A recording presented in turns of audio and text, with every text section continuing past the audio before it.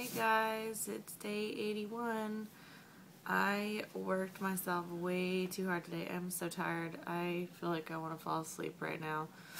And like we're actually going to go to bed. And then my allergies are kicking in, I guess, from being outside and doing all the yard work.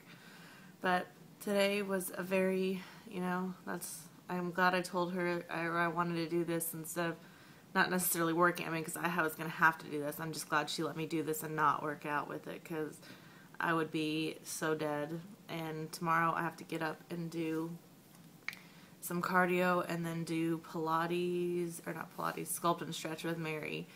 And she's going to base it on the number 82 since tomorrow is day 82. So I'll have to tell you guys all about that tomorrow.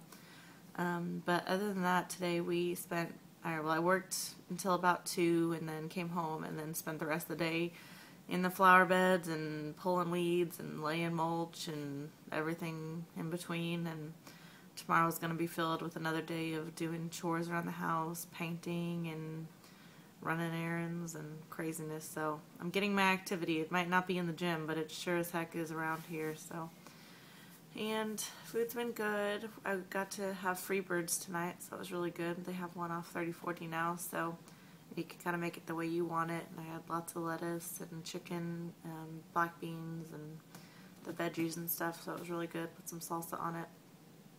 Um, and I think that's it for today, really.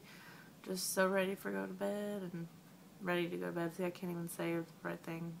okay. Anyways, I will talk to you guys tomorrow. Bye.